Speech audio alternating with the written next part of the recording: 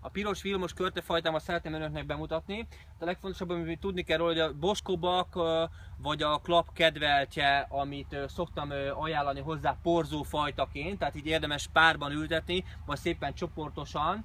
a piros vilmos körtéről azt kell tudni, nagyon szépen ilyen pirososan színeződik a héja, és egyébként pedig egy, egy igénytelen Magyarországon nagyon kedvelt a kertészetemből sokat viszik ezt a vadkörtel magoncon megnevelt kis fácskát, és úgy szabad gyökerűen, mint ahogy látják itt ezt a nagyon szépen kicsi megnevelt koronácskájú kis nagyon szép egyenes törzsű fácskámat, ez a piros vilmos, ez gyakorlatilag így, most október másodika van, tehát szépen lassan az őszi színek már beköszöntenek a piros vilmos facsemete életében is, szépen lassan el fognak színeződni a levelek, és aztán majd lehullanak, és hát gyakorlatilag egy ilyen konténeres kiszerelésben is, most ezt megemelem önöknek, ilyen konténeres kiszerelésben nagyon szépen begyökeresedve is a rendelkezésükre áll, lehet ebből vásárolni, lehet választani ezt a piros vilmos körtét is, aki nem szeretne már várni és nem szabadgyökerű facsemetét szeretne termelni,